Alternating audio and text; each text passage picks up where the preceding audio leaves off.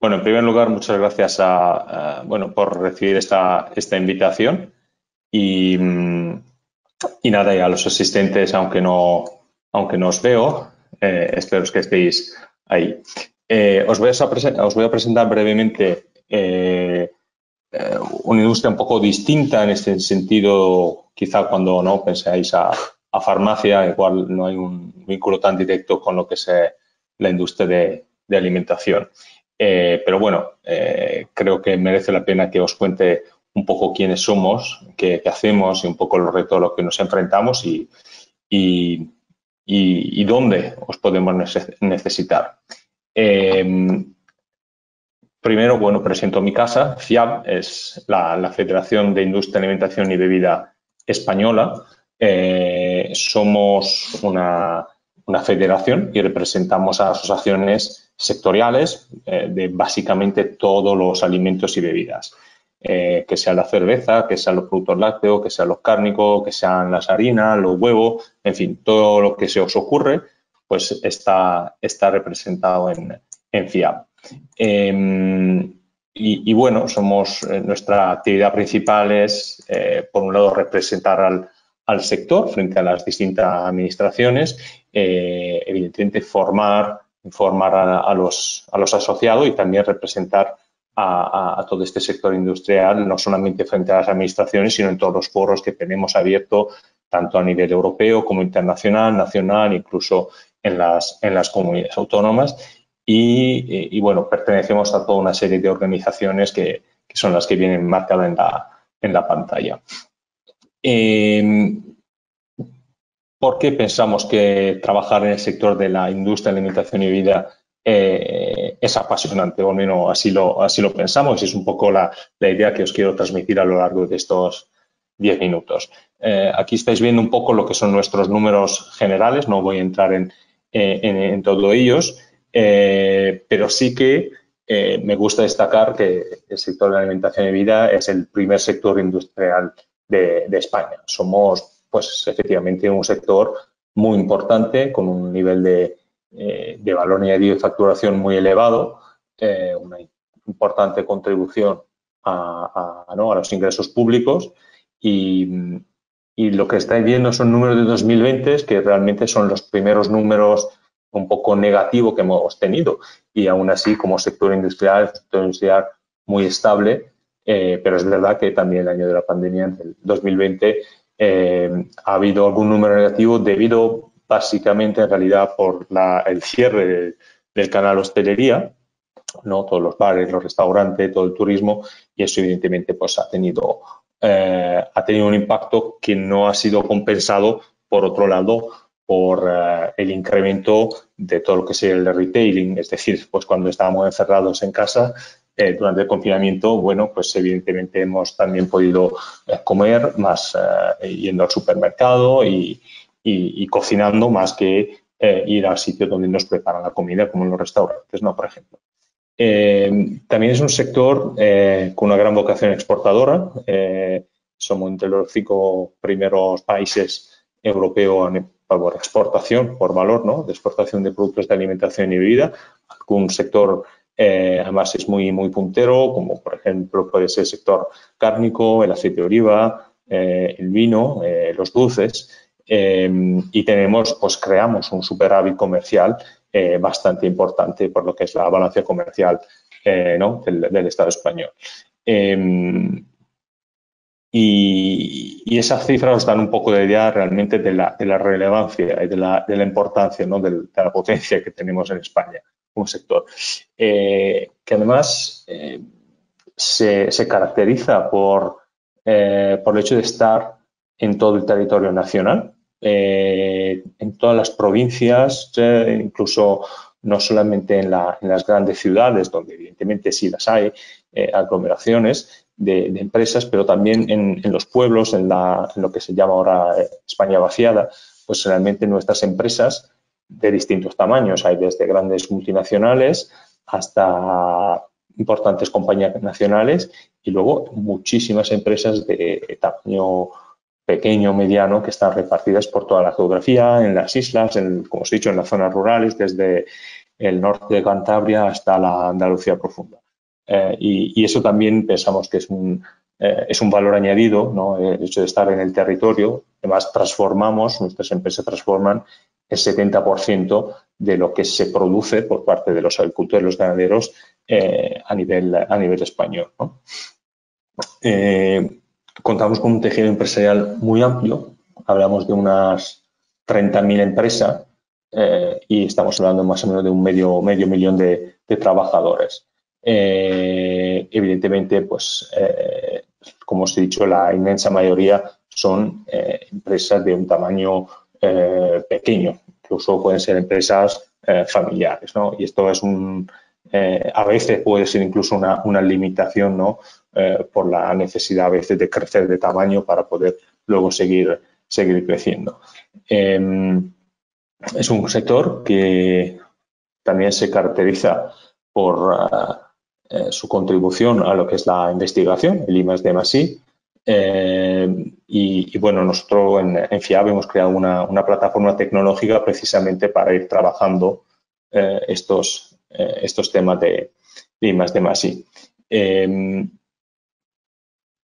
otro aspecto que me gusta subrayar del, sector de alimentación y bebida en términos en término de empleo es la tasa de empleo femenino, que es bastante bastante relevante, casi un 40%, eh, y también en, en I más I, eh, que es casi sobre un 9% del, no, del, del, empleo total de la, de la, industria de alimentación y bebida.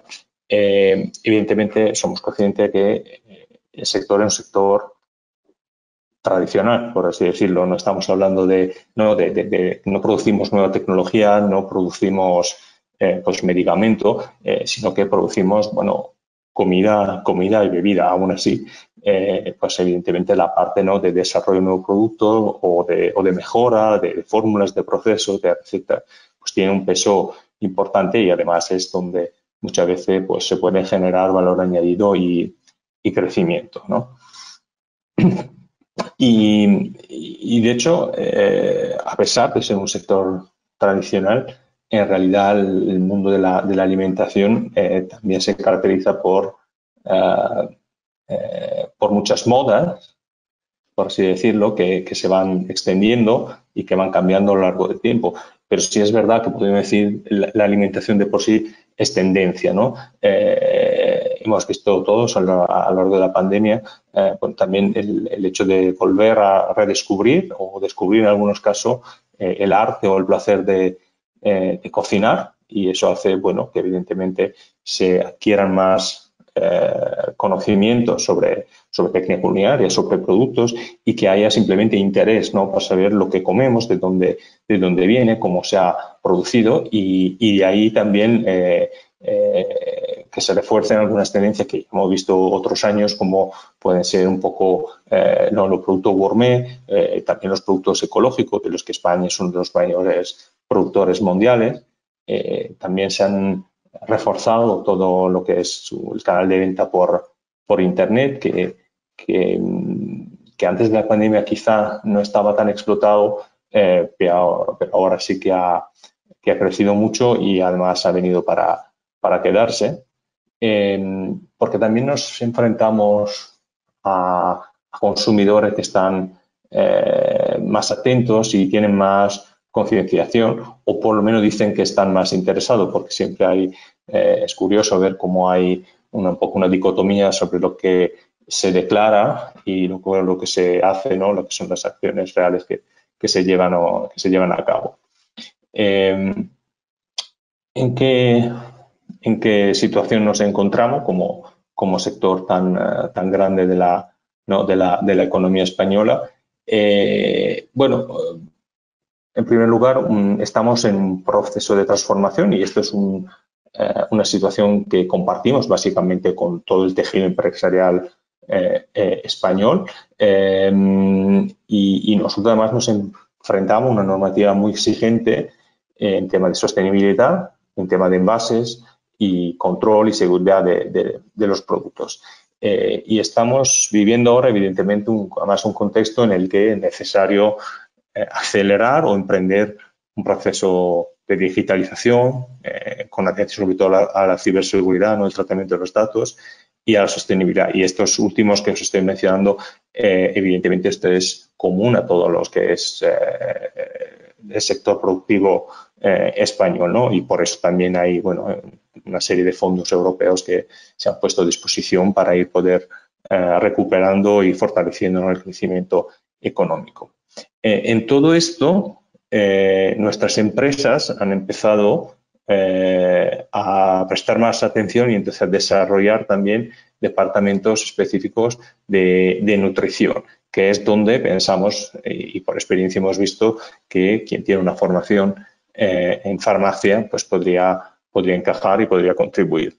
Eh, y, estos departamentos de nutrición son, uh, normalmente son áreas eh, independientes que están pensadas por, para que haya un transferimiento realmente de conocimiento a nivel científico de lo que es la nutrición hacia, hacia la empresa, es decir, no necesariamente si yo produzco o estoy haciendo un producto u otro, soy experto de nutrición. O sea, tengo una receta, pero no necesariamente soy experto de, nutrición, porque son dos cosas completamente distintas. Eh, y sobre todo con la idea de incorporar nutricionistas o dietistas eh, con, eh, con, la idea de poder desarrollar nuevos productos o mejorar recetas, ¿no? con el objetivo bueno, de crear productos que sean más saludables o que se ajusten más a lo que son las demandas de los consumidores. Entonces, lo que se está creando en muchas empresas son eh, equipos multidisciplinares donde hay tecnólogos de alimentos, donde hay expertos en, eh, farmacia, en nutrición, eh, que pues de la mano intentan, bueno, con nuevas técnicas, con nuevos procesos, con, nuevos ingredientes, pues conseguir ¿no? recetas mejoradas. Y, y, de hecho, os quiero comentar brevemente una un ejemplo de un trabajo que hemos realizado desde la federación, bueno, que hemos impulsado más, más bien dicho, eh, que es un plan de reformulación eh, de, alimentos que hemos firmado hace eh, cuatro años con el Ministerio de, Sanidad en aquel momento y otros actores, con la idea bastante, bastante fácil y, básica de decir, bueno, cogemos una serie de productos y de sectores que son los que veis en esta, en esta idea positiva, eh, y son muchos. Eh, estamos hablando de aproximadamente 3.500 productos y vamos a reducir eh, la, sal, la grasa y el azúcar. No en todos los productos, alguna solamente se puede reducir, por ejemplo, el azúcar y en, además reducciones en porcentajes distintos. con, la, con la idea de, de que si todos esos productos, que son muchos y representan casi el 45% de la, de ingesta eh, calórica diaria, sobre todo están pensados hacia los productos que, muchas veces los niños consumen. Eh, si vamos a poder reducir estos nutrientes, cuyo ingesta excesiva sí que es un problema para la salud, eh, pues pensamos que esto va, a aportar beneficio ¿no? a, la, a, la, salud de toda, de toda la ciudadanía. y evidentemente este tipo de trabajo eh, para llevarlo a cabo, pues hemos tenido que contar con empresas o las mismas empresas han tenido que contratar también, evidentemente, a eh, personas con un background científico, eh, con conocimientos de, nutrición, para poder asegurar que ese nuevo producto sea, o esta receta mejorada, llamémoslo así, eh, siga siendo buena, es decir, que, a nivel de, ¿no? de palatabilidad y de eh, a, nivel sensorial sea un producto que se pueda, eh, que se pueda disfrutar y que a la vez, bueno, que sea un poco más saludable de la versión, por así decirlo, original. y este, bueno, es un plan muy, muy ambicioso porque abarca realmente tanto, tanto, tanto producto. En, nuestra industria, en nuestro sector, eh, nos movemos también por una serie de, valores o, de principios, diría. Em, uno de ellos, quizá uno de los más importantes, eh, que no hay de por sí ningún alimento que sea bueno o malo, eh, si lo tomamos de manera individual, sino que lo que realmente importa son, las dietas, ¿no? que pueden ser equilibradas o desequilibradas. Eh, todo depende de la frecuencia y de la cantidad de lo que, de lo que consumimos. y es más, la alimentación es uno de los factores que influye en, en la salud. Lo que realmente importa es el estilo de vida que llevamos. Y se puede ser saludable o no saludable. Cierto es que la alimentación es un factor importante, es decir, llevar una alimentación variada, equilibrada, eh, es fundamental, pero también tiene que ser fundamental, bueno, por ejemplo, cuidar eh, ¿no? los hábitos de sueño, eh, la actividad física, el bienestar emocional, en fin, toda una serie de otras cuestiones que, siempre hay que, destacar. y todo eso haciéndolo partiendo de lo que es la, evidencia científica. ¿no? En, en, este sector y, sobre todo en, en, FIAB tenemos una serie de, prioridades en las que estamos en las que estamos trabajando. Algunas de esas ya os la he, os he comentado. seguramente no también el fomento de la, de la internacionalización, internacionalización perdón, y la innovación, es ganar mercados también eh, fuera, de, fuera de España, eh, trabajar eh, para poder contribuir también a todo el tema de la, de la sostenibilidad. Y más allá, bueno, de todos los temas clásicos que podrían ser temas regulatorios, ¿no? y que, que, eso más o menos compartimos con todos los sectores que han hablado antes de mí. Eh, si ya venimos a quizá aspectos que más os puedan interesar sobre el, tema de incorporación al, mercado laboral, em, nuestras empresas sobre todo eh, están buscando perfiles que se puedan incorporar en los departamentos de calidad y seguridad alimentaria. Eh, el mundo de la alimentación tiene una eh, normativa muy extensa, muy específica, muy estricta además, somos el, en Europa, en la Unión Europea, el, lugar donde tenemos los estándares de seguridad alimentaria más, más elevado del mundo. Y eso, bueno, eso requiere un conocimiento y un esfuerzo por parte de las empresas muy, muy notable, pero, pero es así, es decir, que ese es, la, es algo precompetitivo en el que todo tiene que asegurar que su alimento pues, sea, sea seguro. ¿no? Eh, también se buscan muchos expertos, como he dicho, en, nutrición que tengan esa capacidad eh, de, mejorar los productos bajo el punto de vista nutricional y así satisfacer las demandas que, tienen los consumidores. Eh, y, luego, evidentemente, perfiles mucho más, por así decirlo, generalistas o horizontales, como podría ser no expertos comerciales, que pueden trabajar en exportaciones, en ventas, todo el desarrollo también de, nueva tecnología, eh, expertos en medio ambiente, sobre todo en algunos sectores, eh, eh, por ejemplo, donde hay una fuerte dependencia de los envases, como podrían ser las, como podrían ser las bebidas, y, bueno, y perfiles más, más horizontales, ¿no? como salidas profesionales, un poco lo que os he comentado, pero centrándonos un poco más en la parte de, de nutrición, eh, la verdad que eh, los, quien está pensando en formarse también o continuar su formación hacia el camino de nutrición, como dietista nutricionista también, eh, la verdad que hay varias posibilidades, no solamente en, lo que es la empresa privada, sino también en la, en la administración pública. o, bueno, también en la, en la docencia es una, es un sector eh, que ha hecho, realmente está viendo un boom. Eh, si seguís, bueno, hay muchos perfiles también muy activos en redes sociales eh, y la verdad que se, está viendo esta tendencia, ¿no? A que hay muchos expertos o algunos presuntos tales, ¿no? De, este tipo de, de, cuestiones que efectivamente interesan, empezado a interesar a mucho más a, las, a los consumidores en general o a la ciudadanía.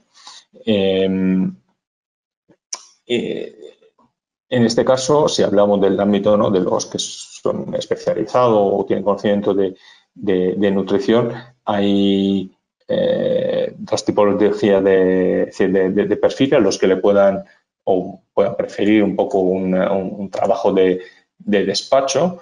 Eh, y en ese caso, pues evidentemente hay también ofertas sobre todo para hacer seguimiento, por ejemplo, de las iniciativas regulatorias, eh, y aquí, como os he dicho, es un sector hiperregulado, el de la alimentación, donde hay normativa europea, nacional, pero también las comunidades autónomas, eh, perfiles más de relaciones institucionales.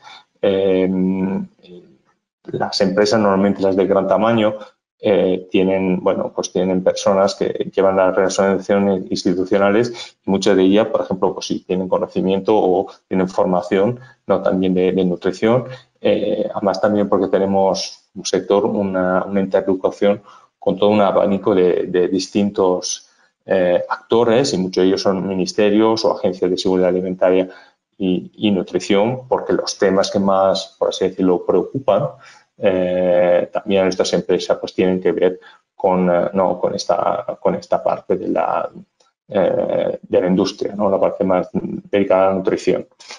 Como ya os he comentado, evidentemente fundamental la aportación que puede, se puede hacer en términos de diseño de nuevo producto o de reformulación, es decir, de mejora de productos que ya, que ya mm, existen.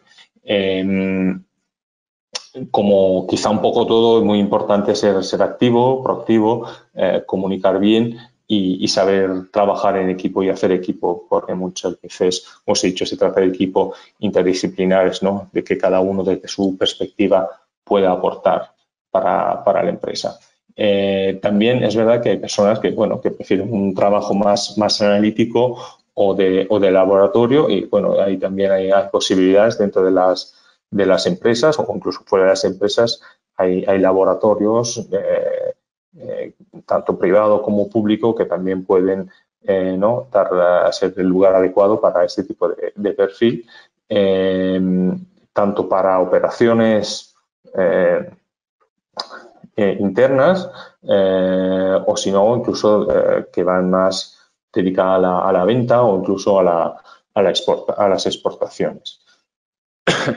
Y, antes de realmente de, finalizar, esperando que, se encuentren todos, todos despiertos, sí que, como, consejo eh, me, gustaría compartir, eh, no más que una experiencia, eh, una idea que tengo que es de, no tener nunca miedo a, preguntar o a ofrecerse más allá de las ofertas de trabajo que se puedan ver publicadas. Entonces, se trata realmente ¿no? de contestar y, como han dicho mis compañeros de ponencia, bueno, evidentemente de prepararse bien, sino que a veces eh, nunca se sabe cuándo puede eh, surgir una oportunidad. Entonces, eh, en la manera adecuada y siempre con la educación, siempre está, no está de más ¿no? proponerse si alguien tiene una, aspiración en una empresa específica, en un sector específico, también proponerse en el fondo el mercado del trabajo es un lugar donde se encuentran demanda y oferta y, hay veces que no, si estamos buscando a alguien, a veces no, lo sabemos todavía. Entonces es muy importante disponer de, perfiles y no tener miedo, por el lado ¿no? de quien solicita, no tener miedo a, ofrecerse o, a preguntar. Eh, yo creo que es, eh, es, algo que a veces nos, no, nos cortamos nosotros mismos cuando, cuando no es necesario. Así que con eso yo ya eh, concluyo y os doy muchas gracias por vuestra atención.